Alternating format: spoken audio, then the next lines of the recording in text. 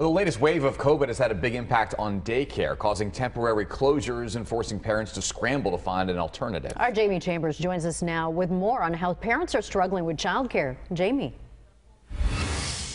Yeah, it's really difficult, but there's this new company called TOOTRiS, and they've been working around the clock for a few years now, trying to get parents and childcare companies connected in a more seamless way. They've been doing it for hundreds of companies here in San Diego alone, hundreds of thousands nationwide.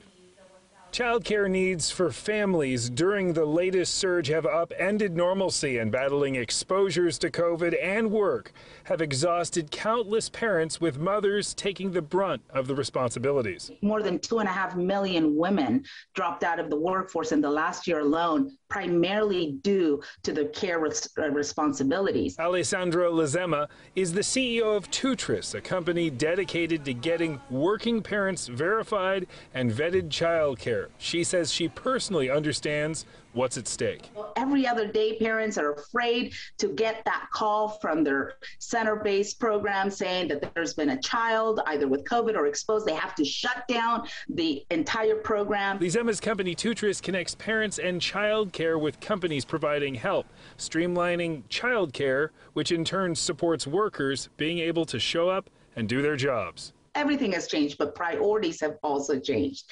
And now, what's most important is to support your workforce in everything that they need to have peace of mind. And where does peace of mind begin?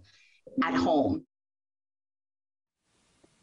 And one of the things that TOOTRiS really does a good job of is they identify those smaller child care companies. 60% of those, especially here in San Diego, with 7 to 14 kids in one classroom, keeping those numbers down and keeping those parents at work. That's the very latest from Sorrento Valley at the headquarters here at TOOTRiS. Jamie Chambers, Fox 5 News. All right, Jamie, thank you. Certainly an issue a lot of folks are dealing with.